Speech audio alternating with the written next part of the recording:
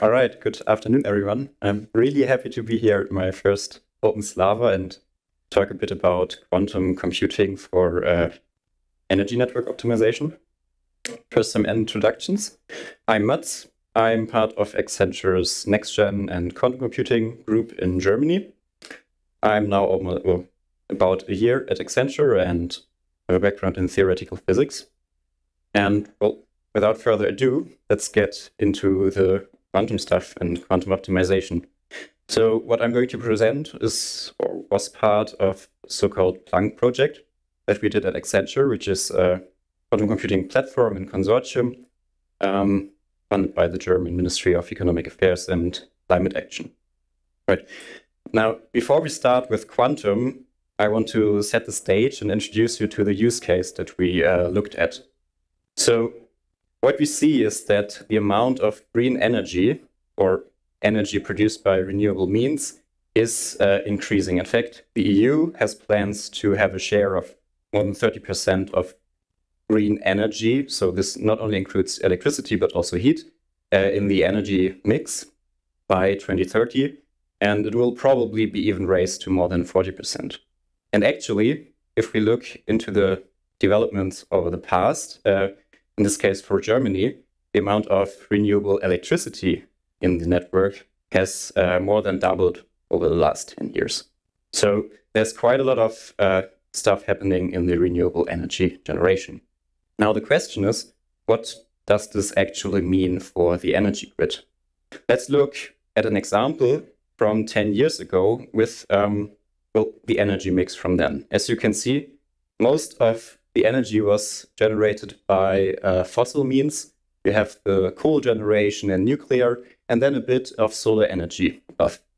And the important thing to note here is that most of this generation is really pretty much constant. And this is what we call the baseload. This is energy which is bought uh, from the energy providers months or even years ahead of time that is basically uh, supplying the base demand that uh, energy users have, which does not really change over time. So looking at the current status of this, uh, we see that we have a lot of more uh, renewable energy sources. And with this, the possible baseload energy that we can supply is also decreasing a lot because we do not have the capacity to supply it with, for example, coal power plants. So what this means is that we can't really predict in advance how much energy we will be able to uh, produce because well we can't really tell um, how the winds will be blowing in a few weeks or how the sun will be shining. And we have to decide um, or we have to see how much energy we generate uh, pretty much one day ahead of its use. And what this creates is so-called supply demand mismatches. So during times of high electricity production, there may be uh, times where we produce more energy than we actually need, which is here in this graph at the uh, first time step here. And in, during these times, uh, during the overproduction, we will export energy. And there are other times where we produce less, uh, less energy than we actually need and have to import expensive energy. And this is of course, because we can't control how much renewable energy we will actually produce at a specific time. So the question is, how do we combat this uh, without relying too much on exports and imports? And an obvious idea is to just shift energy from one time where we generate it to another time. Well, the problem here is, of course, we can't store the energy. And we don't really have a big battery um, that lets us put a lot of energy, because obviously, if you look at the whole country, you produce a lot of energy, um, and store it to later retrieve it again. But maybe we can use a lot of small batteries. Namely, what I'm talking about are electric vehicles. So imagine you have a really large decentralized energy storage in the form of the batteries of electric vehicles, which is most of the time of the day not in use, and you're able to store energy there and retrieve it at a later time. And this concept, which I'm talking about, is vehicle to grid. So not only may an electric car charge energy. Of course, you need this. But you may also feed in energy from the car battery into the system. And well, one may ask whether this uh, is feasible. And the answer is yeah, it could be, because we have a lot of electric cars and the numbers are only increasing in the future. And depending on how you calculate and uh, what assumptions you can take, you can arrive at numbers up to 20% of daily energy use that could be uh, provided by the capacity of electric vehicles. Of course, there are still other considerations you have to take into account. For example, the infrastructure also has to uh, made ready for, for using such a system. But we're currently looking at a more or less innovative approach for this. Now, what I just talked about was the first step of what we call the quantum use case journey. So if we want to evaluate problems and solve them on quantum computers, we of course, first of all, have to find a problem that we want to solve. In this case, the use case is of using vehicle to grid, so the batteries of electric vehicles, um, to will shift network loads on the energy grid. And next up is we have to make this more precise, this problem, and have to have to formulate a problem from this. So what we thought about is what we call the feed-in reward program. And I'm going to explain it to you now. So first of all, we want to look at the market prices. So what is happening is that energy providers are buying energy on the energy markets, which are similar to stock markets, uh, ahead of time. So, for example, the baseload energy that I talked about is bought many months in advance. But there's also the day ahead market, where energy is bought one day ahead of its use. And due to differing uh, energy generation scenarios, for example, it's really much weather dependent how much energy and what type of energy we are going to produce. These prices are fluctuating a lot. But a utility provider is selling its energy to the end users at a fixed price most of the times. So there are times on the day where the market price is higher than the sell price and times where it's lower. And this obviously means that the utility provider has a loss and the price is higher and makes a profit when it's lower. Ideally, from the perspective of the utility provider, we would only have these uh, green areas because, well, we want to make profit, of course. But as you may guess, the demand uh, does not really care about the time when the energy is bought. So we always have a demand, and this demand always has to be satisfied. So what can we do about this? And at this stage, the feed-in reward program comes in. And um, suppose we can offer the electric vehicle users a price for buying energy from their cars which would then be fed into the network via vehicle to grid. Doing this, we can, on the one hand, reduce the cost a utility provider has at this time, and we also can generate profit for the electric vehicle user. So in this case, it's a win-win situation for both parties. And most importantly, here, we do take the energy from the batteries, from the temporary storage. So in this case, we reduce the energy which is needed from the generation. And of course, the cars need to be recharged one time, and therefore we are able to shift energy loads. So by utilizing this feed-in reward pro program uh, cleverly, we are able to achieve what we set out to do, namely uh, shifting energy network loads to different times of the day.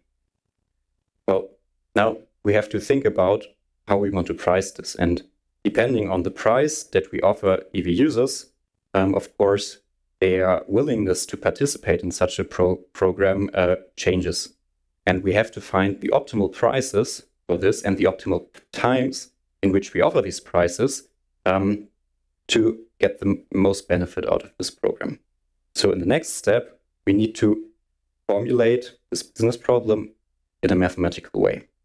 So, of course, we need to take some assumptions, for example, the time granularity in which we want to consider our model in our case, we took a one hour time window. And so we had 24 time steps per day. You also have some constraints, how you want to model the elasticity between the offered price and the number of people participating. In our case, we took it to be linear. And um, then you need to take into considerations, uh, well, the preferences of the users because there are times of the day where they may uh, drive to work and their car won't be available. And they maybe also don't want to offer the full capacity of their car for this program. So we have a lot of constraints uh, to work here with. And of course, we need good data of the energy markets, how much energy demand has been forecasted, how much energy has been generated, what are the prices, and also, of course, uh, user behavior. And then what we can do is create a formula that we want to optimize. In this case, we want to find the optimal feed-in prices. And the function we want to maximize is, in this case, the profit. So what we take here is a sum of all the incomes and expenses of the utility provider. And the incomes uh, are made up of the demand, of course, of the energy that is sold. And the expenses is the energy that we need to buy from baseload sources, from the, from the day-ahead market, or from the feed-in program.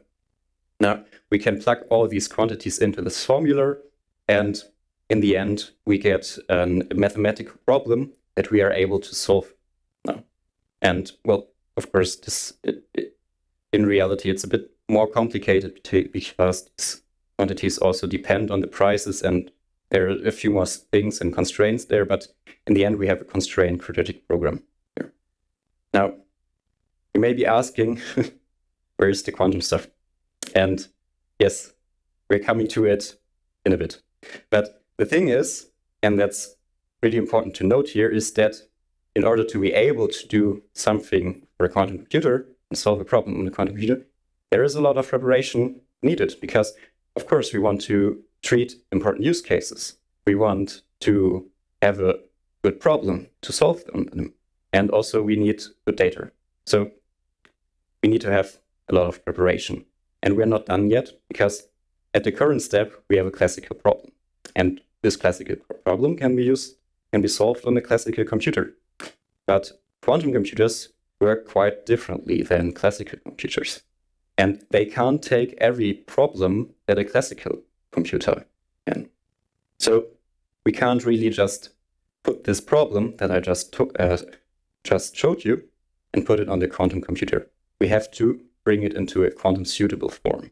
So first step is that we need to reformulate or bring it into another uh, formulation um, that can be solved in a quantum computer. And this also depends on the different types of architecture of quantum computers and the algorithms that you we want to use for this. And there's another really important thing to note here. At the current stage of technology, quantum computers are still in really early stages, and we can't expect to solve every problem that we can solve classically on a quantum computer just yet. We have to be really careful on the problem sizes because we can't really go too big um, because the quantum computers are not big yet enough. And also, quantum computers are noisy, so we have to do special treatments to our algorithms to get uh, good results. Now, having this, first of all, transforming of the problem and also making sure that this problem is optimized for a quantum computer, now we can actually get into solving the problem on quantum. Looking back onto our quantum use case journey, we are now in the quantum realm, I would say, with having a quantum suitable problem formulation and the next step is then putting this problem onto a quantum computer, solving it. And of course, we want to evaluate this problem. We want to benchmark it, compare it to classical solution. And always we want to try out different approaches because there's not the best approach to solve uh, a problem on a quantum computer. There are many different algorithms and things you can do. So usually these three last steps here are a repeating process. And also if we're considering multiple use cases, um, these steps repeat themselves a lot. And we do a lot of things uh, multiple times. So what we do is that we use so-called accelerators to accelerate the, the rate in, we, in which we can evaluate such problems for quantum proof of, proof of concept development. For example, we use a proof of concept template to quickly set up project structure for such quantum computing projects. And we developed a modular optimization framework which already implements a lot of common problems, algorithms, and also backends to solve the problems. Let me quickly explain you how this framework works. So what we started with is a use case, in this case, the feed-in reward program. And first step that we took is that we formulated as a mathematical problem. In this case, it was a constraint quadratic program. And this program can then be solved on a classical optimizer, really straightforwardly. Now, for a quantum computer, we need to reformulate this into a quantum suitable way, in this case, uh, a QUBO. And the optimization framework has the capability to automatically uh, convert these types of problem into one another so, so that we don't have to do this manually. We can use many methods to optimize the problem formulation this way. And of course, there are a lot of other different problems that we may take a look at and a lot of other different classical and quantum solvers that we want to try to solve our problem on. And really important, we want to use quantum computers. So we need to be able to connect to backends. And usually what is done is that the quantum computers are offered via cloud services, for example, IBM Quantum. And this optimization framework can directly plug into this backend and solve them on the quantum computer. Now, afterwards, we have a quantum solution and we need to transform it back to the uh, business solution. In this case, would be the prices of the feed-in reward program and the times in which they would be offered. All right, now let's look at some results and I want to use a showcase that we built for this. So I will just quickly change uh, windows and I hope it works. Yes, you can see. So we can now uh, look at a few different types of results and algorithms that we used. Uh, let's start with the classical one. So what we could do on the classical backend is that we could solve a full year of this feed-in reward program. So a pretty big problem. Um, and let's look at uh, the results here. So what you can see here is are, are the market prices, which are, as I said, really much fluctuating. And sometimes they are a lot higher than the uh, tariff or demand price, and sometimes they are lower. And depending on this, we are able to use the feed-in reward program to increase the profits so we can are able to optimize uh, our problem here in this case. And in total, what we found is that compared to the problem without the feed-in reward program, we were able to increase the profit by approximately 2 billion euros, which is pretty big. But of course, this also heavily depends on the type of assumptions that you take for your, for your problem. So first, take this with a grain of salt. Next up, we solved the problem on a quantum computer. In this case, it was a 27 qubit system from IBM. And we were able, with a clever formulation of the problem, um, as I told you, it's really important to get the problem formulation right, to solve one full day of this feed-in reward program on the quantum computer. And here's how the results look. First of all, these are user profiles, so constraints which incorporate user driving behaviors. And the green time slots here are the times where we actually have the feed-in reward program enabled. And here you can see how much of the energy then is provided by this feed-in reward program in green.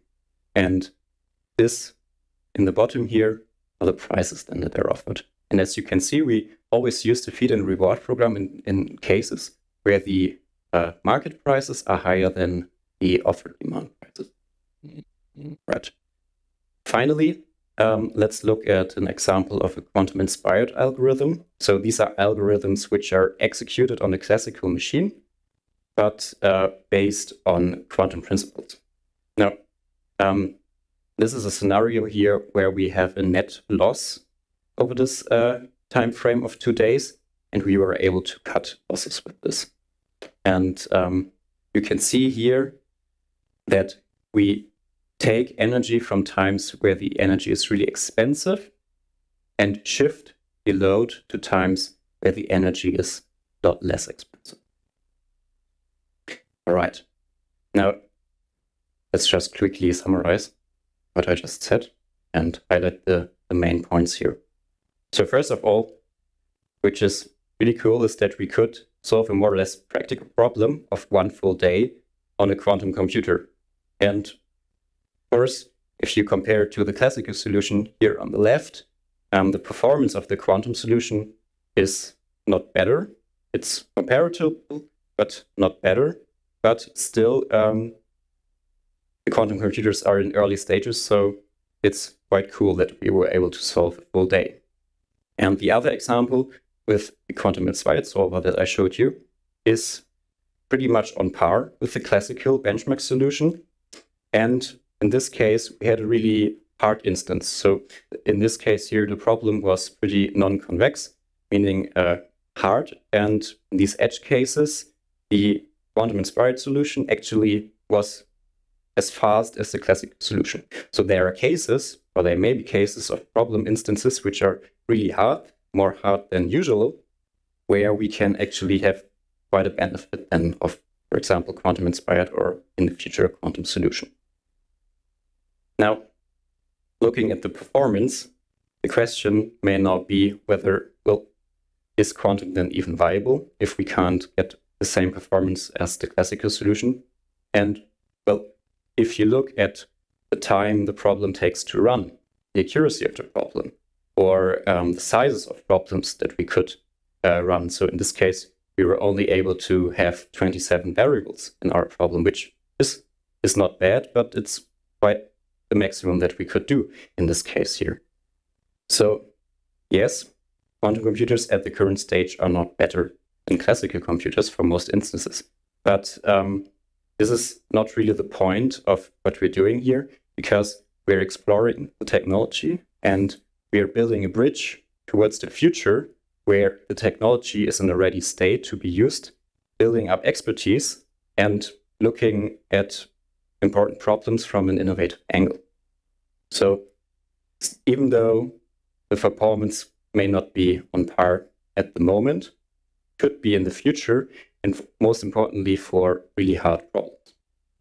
Um, another point I want to make is that evaluating these uh, quantum use cases is not always only about quantum computing.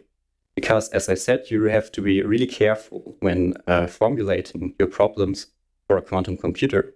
And by looking into this problem then uh, really deeply and uh, closely, you may find ways to even optimize the classical problem and even generate benefits on the classical side. And we have seen this in previous use case that we uh, worked on at Accenture. And um, right, so quantum may not only be about quantum in this case. Okay, so the main takeaways um, I want to highlight here from this talk is that well, even though quantum may not be practical today, it's uh, always already as we can already already solve practical problems on a quantum computer, and this might not be expected. And uh, another thing which I find really important is to reuse things that we do. So by using our framework, our optimization framework, we are able to rapidly evaluate different use cases in different ways. And this is also a lot, uh, a main point of what we do is to find out about, about many algorithms and many backends and try them out to get a big, uh, better view about um, the problem landscape and what is possible. Now, the last thing is that, well, as I already highlighted a few times, that going the journey of the quantum use case, um, we are able to get even benefits today by finding ways to optimize our problems, by looking at them in a more deeper angle. And also, from my point of view, um, it's really fun to look at these uh, important problems from innovative point of views and explore novel approaches to solving difficult problems. And um, well, final note I want to make is that we used our accelerators to build a quantum fraud detection app. And because of the modularity that we were able to leverage. It took us only uh, one month, which is uh, not a lot of time, in my opinion. And I even, so we will have a demo after this talk in the exhibition area. And if you want, you can check out what we built and uh, we can talk a bit more about all these topics. And right with that, uh, thank you really much for being here. I was happy to talk about quantum with you and thank you.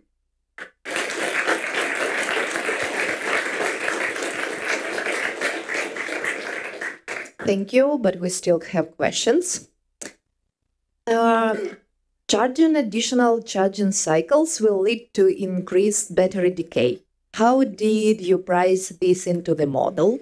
Yes, thank you for the question. This is a really important thing. And at the current stage of the, the model, it is not incorporated. And of course, if you want to take this use case further and maybe look into really implementing it in some way, you have, of course, to take into account that because you charge and feed in more with your car, the battery degrades.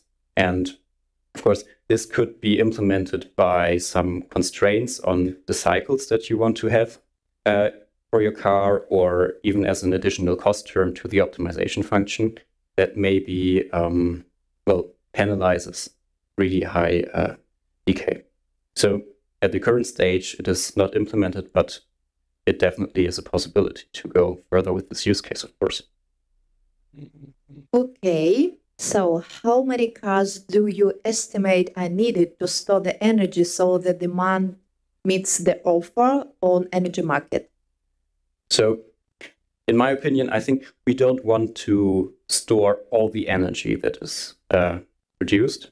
So we only have to take some percentage, and you can do rough calculations and look at how many uh, electric vehicles are currently on the market or will be in the future, how much capacity they have, and you can say, well, maybe people only want to leverage half of the capacity and they want to have 50% always available to them because, well, maybe you uh, need to drive somewhere uh, in an emergency. And um, with these calculations, I got to about, in the best cases, to 20% and in the worst case, cases less. Okay. Um, so, uh, so the point is that you are building more a framework for future use cases to help them solve the optimization problem by the quantum computing. Well, yes and no. So, when we initially uh, treated this use case, we did all this from scratch. All the optimization routines and all the backend uh, adapters, we, we wrote them new. And what we what we noticed is that there are a lot of steps that happen a lot of times. And we can speed up the process by building this and transforming this, what we did, uh, into a framework and reusing the steps that we are taking a lot of times. So um, the first point was to treat this use case, but it also developed into uh, building this uh, framework. Yeah. Okay, back to the grid approach is very interesting. However, it also requires all the cars to be connected to the grid while parked. So it's not a question; it's a statement. Yes, right. That's true, of course. And like, but how you are going to solve this issue? I think that's the Yes, of course, implementation of this is really another question. And we're talking about these concepts and thinking about ways to maybe leverage this, but having the infrastructure ready and not even not all cars are uh, capable of doing a feed in. So they usually only are able to be charged. This is, is changing, but um, most of the cars currently don't have this capability. And of course, the grid also needs to be able to uh, receive energy from a lot of decentralized sources. So in the on the implementation side, there are a lot of things that still need to be uh, thought out. Yeah. Um, the next question is: Isn't the feed-in reward similar to a fluctuating gas prices? reduce the price of charging when supply will lead to demand for energy and vice versa. So it's it will be somehow a cycle. Mm. I'm not sure if I understand the question quite right, but um, that's that you will lead with this like to increasing and decreasing price and so there will be no like sense for this. I that's that it is it is similar like gas price of course you have like another another source of energy with a different pricing structure and in the end this may uh, also have a back reaction to the markets and how the energy prices develop there so that uh, depending on on how large you you make this um, that could potentially happen. Yes, I think so. Um, what if this problem would be analyzed just based on, on one parameter, grid frequency shifting, and would regulate the excess capacity based on the measured value?